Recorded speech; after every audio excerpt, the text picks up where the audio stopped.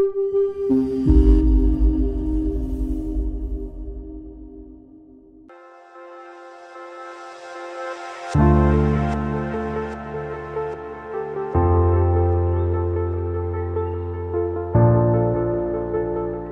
name is uh, Somnath Kayal.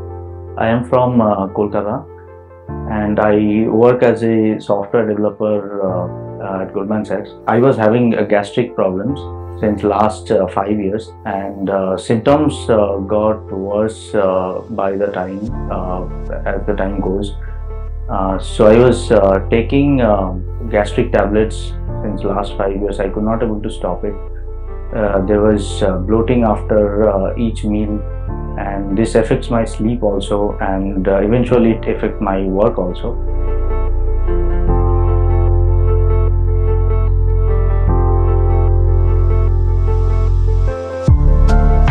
Hi, this is Koel from Kolkata. This is the story of my husband Shomnath. He was facing this gastric problem since last five years, as he told me. Most of the times, uh, his work life and personal life both are affected badly.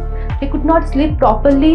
He uh, he was having problem every day after taking meal. Every day he was facing the um, biggest issue. So after that, we searched in Google in Practo. We got the contact of Dr. Manjunath Haridas, Manipal Whitefield Hospital. Hi, my name is Dr. Manjunath Haridas. I'm a surgical gastroenterologist at uh, Manipal Hospital, uh, Whitefield.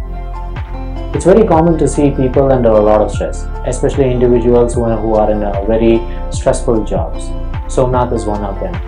He was working in an IT company and um, he was under a lot of stress and he was as routinely he was also diagnosed with what we call as uh, regular gastritis like symptoms. He had already had undergone uh, endoscopy after taking some medication for which he did not cure. So these are very common and these are the patients who actually require proper evaluation.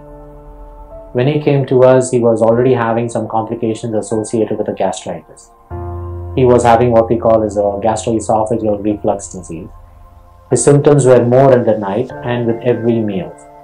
Now, this can be controlled with medication, but unfortunately, the control was lost because he was more dependent on medications at this time. After we consulted uh, Dr. Manjunath Haridas, Somnath was going through some medical tests, and uh, and this test took um, some, some time to perform because it is a kind of long-term issue which was not diagnosed for uh, last five years.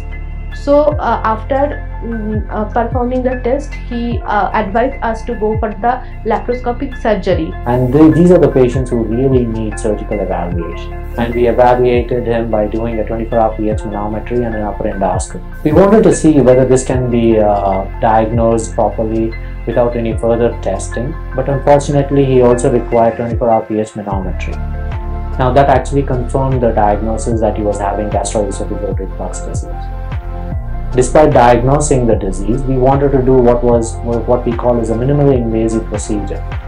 So we wanted to evaluate him for uh, what we call as an endoscopic procedure. And this was investigated by Dr. Anup. And we had a multidisciplinary team meeting as well, trying to discuss what will be the best option for this patient. But in Somnath's case, uh, endoscopic procedure was not could not be performed because there were strict criteria that we have that we want to help patients with endoscopic procedure. So the decision was made that he would benefit from laparoscopic surgery. Now we all know that laparoscopic surgery is routinely performed in almost major hospitals. But being Manipal, a quaternary center, we wanted to uh, do what we call the minimally invasive advanced procedure, a reduced port surgery where there are less number of incisions compared to a regular laparoscopic Nissen fundoplication. And this surgery, even though it takes a little bit longer time for the surgeon and more skills, you were able to complete that surgery without any complication. His post-operative recovery was uh, really good, and he was most importantly he was free of his symptoms. This helped him to get back to his life, concentrate on his work, and also get back to his normal social life. And I think this is very important for all the patients to understand.